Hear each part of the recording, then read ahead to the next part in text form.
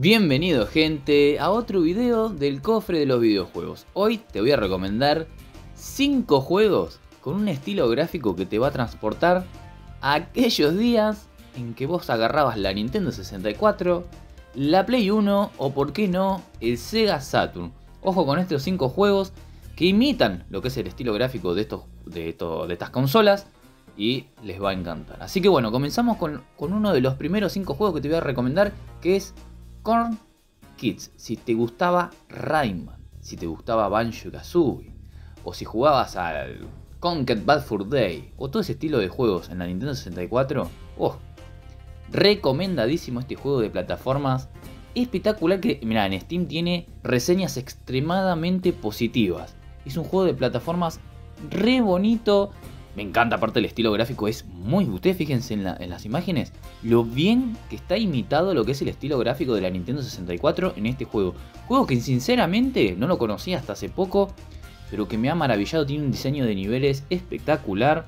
Me encanta que ahora estén empezando a resurgir todo este tipo de juegos que imitan, ¿no? Lo que eran...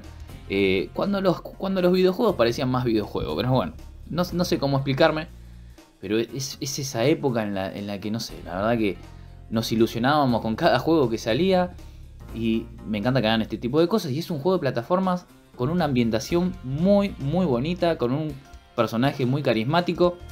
Me encanta la ambientación también porque tiene unos colores, unas tonalidades de colores bastante propias, así que bueno, si te gustan los juegos de la Nintendo 64, no te puedes perder este Corn Kids 64 que es lindísimo. Si te gustan las plataformas 3D, lo tenés que jugar o jugar. Y ahora seguimos con Alisa. Ah, lo que yo disfruté este juego de Survival Horror es increíble. Mira, si te gusta el primer Resident Evil y sobre todo los Survival Horror de 32 y 64 bits que vimos en aquellas consolas, lo tenés que jugar o jugar. Es un juego buenísimo con una, aunque hace mucha referencia a lo que es el Resident Evil 1, sobre todo por el escenario, es un juego que te atrapa mucho por su ambientación por una música muy muy buena, hay como unas marionetas, todo como unos muñecos que están ahí como endemoniados, pero tiene una ambientación y una originalidad muy muy propia a pesar de hacer mucha referencia a lo que es el primer Resident Evil.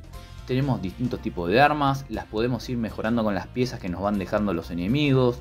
No, la verdad, un juego que me encantó. No esperes eso, si una historia de aquello ni nada por el estilo, es una historia bastante básica, pero con un estilo gráfico que imita muy muy bien lo que eran los gráficos pre-renderizados, ¿no? Que podíamos ver en aquella época en estos juegos de survival horror, en el que vamos a tener que apuntar con esos clásicos eh, eh, comandos que son como los tanques, ¿no? Como le decíamos en aquella época.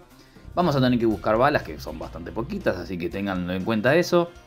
Y nada, la verdad, un recontra juegazo que recomiendo de acá a la China. Pero ahora nos pasamos de recomendar un juego parecido al Resident Evil a algo más Silent Hillesco. ¿Por qué? Por la ambientación de este juego. Pero ojo, ojo porque Golden Light, sinceramente, no se lo puede comparar con nada porque es un juego súper, súper bizarro, pero que una vez que le agarras la mano es muy, muy bueno y puede ser bastante adictivo. Es una mezcla entre survival horror, los juegos estos nuevos de Rushlight, en los que vos perdés y vas perdiendo Perdés algunos avances, pero vas ganando en otros. Las pantallas siempre son distintas porque se van generando proceduralmente. Disculpen si no lo puedo pronunciar bien. Es un juego bastante extraño en el que vamos a tener que ir encontrando llaves en distintos escenarios. Como digo, si perdés, volvés al mismo. Y está bueno porque tenés mucha rejugabilidad por eso mismo, ¿no? Porque siempre los escenarios son distintos. Juego súper raro. La palabra bizarro le queda poco. ¿Por qué? Porque todo lo que nosotros buscamos en este juego está todo hecho de carne nosotros tenemos que ir a rescatar a nuestra amada. Amada que se va a las entrañas de un mundo, que no sé qué carajo es, la verdad que el juego es una fumada bárbara. Y las armas están hechas de carne, la bicicleta está hecha de carne, los muebles están hechos de carne. Bueno, una locura en la que podés usar distintos ítems, comerte, comerte las armas para recuperar vidas, no sabes si te pueden llegar a hacer bien o si te pueden hacer mal. Y nada, un survival horror super bizarro en el que vamos a tener que buscar las llaves para poder encontrar la parte de nuestra amada y poder ir avanzando así en un mundo que se conecta eh, con todas las otras pantallas. Así que nada, un juego que recomiendo que, ojo, si pudiste haberlo reclamado en, Epic, porque yo lo tenía ahí, me lo habían recomendado y dije, ah, espera, lo tengo acá en Epic. Así que por ahí lo tenés ahí y lo podés jugar directamente en, en este Epic Games. Así que bueno. Golden Line, un juego con, esos, con ese estilo gráfico muy de 32 bits. Con una, no sé, muy bizarro. Lo tenés que jugar porque es, es, bastante inexplicable el juego. Así que bueno, lo dejo ahí como una recomendación. Y ahora seguimos con Lunistice. Bueno, Lunistice, no sé si se pronunciará así. Ustedes, ustedes siempre me corrigen en los comentarios, así que bueno. Lunistice, un juego que para mí imita más lo que sería la consola Sega Saturn. ¿Por qué? Porque este juego como que se respira a Sega por todos lados. Primero porque el zorrito, esto, el zorrito este que manejamos eh, tiene una jugabilidad más parecida a lo que sería a los Sonic Adventure, a ese tipo de juego. Un, poquito más lento, más pausado el juego, eh, haciendo más hincapié en el plataformeo, pero con sus zonas también de velocidad. Juego muy, muy colorido, con esa música también muy, eh, muy que parece compuesta, ¿se acuerdan? Por esas canciones que hacía Sega en Sega Saturn o cuando las hacían Dreamcast. No, la verdad un juego muy, muy bonito, con un diseño artístico también muy, muy lindo. Unos diseños de niveles que la verdad me gustaron mucho, vamos a tener que saltar bastante, pegar a los enemigos, eh, mucho plataformeo. No, un juego sinceramente que te va a llevar a la época de, en esa que jugábamos tantas plataformas 3D en la Play 1 y en Sega Saturn, sobre todo en Sega Saturn, porque como digo, no sé por qué, pero el estilo gráfico, la música y el personaje me recuerda más a lo que podía llegar a hacer Sega.